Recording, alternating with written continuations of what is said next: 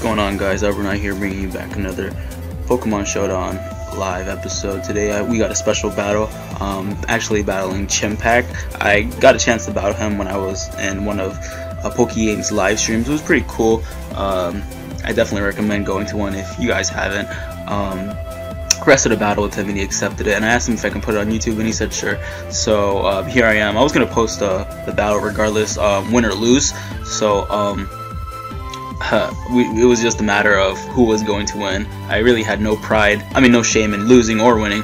So um, uh, here, looking at, uh, we're just going to go with team preview here, looking at team preview, I noticed that Weavile puts in a load of work within his team if I get rid of um, Charizard or um, anything like that. Basically, uh, Weavile is just going to be having loads of fun. So I just actually decided to lead off with Weavile because um, it does handle a majority of his team and he decides to lead off with Starmie. This is pretty cool because I can go for knockoff right here and he brings in um, his Tyranitar. Going for T-Tar here, um, knocking off his choice Scarf and this allows me to go for low kick on the following turn. I don't know if he expected it or not, but go, uh, getting rid of the T-Tar was is a good thing for my um, Tornadus because I can fire off some um, Hurricanes. It's a, it's good for my Landorus and um, here I'm just going to decide to switch out into my Venusaur um, just so I can get some like Sludge Wave or scare him out.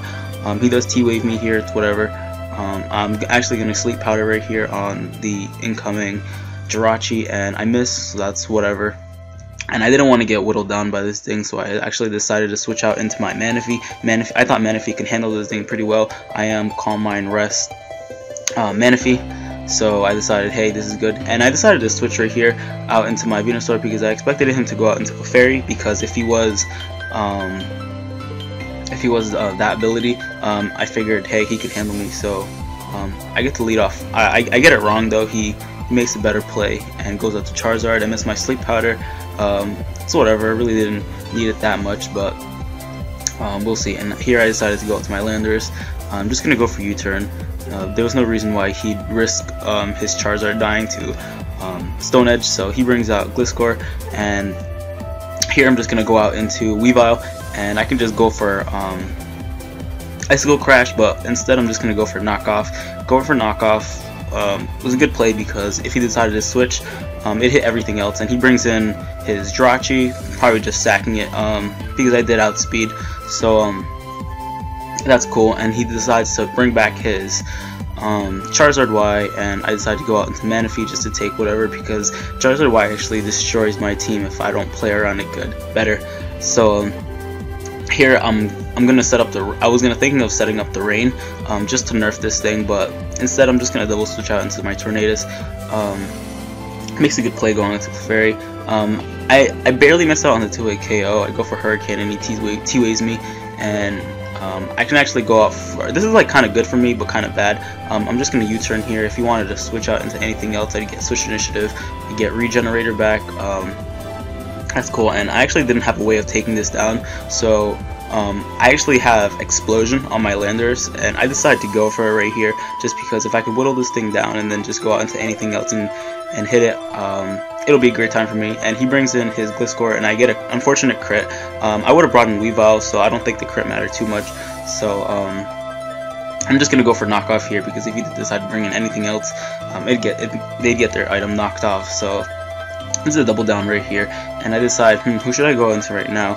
Um, I decided to go for Keldeo because I really didn't need Keldeo that much. He does have a Clefairy, um, he does have a Starmie, and a Charizard to kind of nerf it. So Keldeo is kind of like um, a sack. I could basically just sack my Keldeo over here. I didn't really need it that much, and um, I'm just gonna go for Hydro Pumps. The, the misses didn't actually, didn't really matter because um, it was in the sun, and he is leftover Starmie, so he would have um, ate that up pretty pretty easy. So I'm just gonna go out to my Manaphy here, and here this is where things start getting a little risky because um, he he has a Charizard, and Charizard can come in anytime anytime he wants. So what I'm gonna do right here is I'm actually gonna um, set up the rain, and I'm, I'm actually counting the um, sun turns, and um, here I decide I decide on um, the only play he has to make if he wants to get back into it is go out to Charizard. So I decide to double rain dance, and um, this is really good because then I can go for a rest here.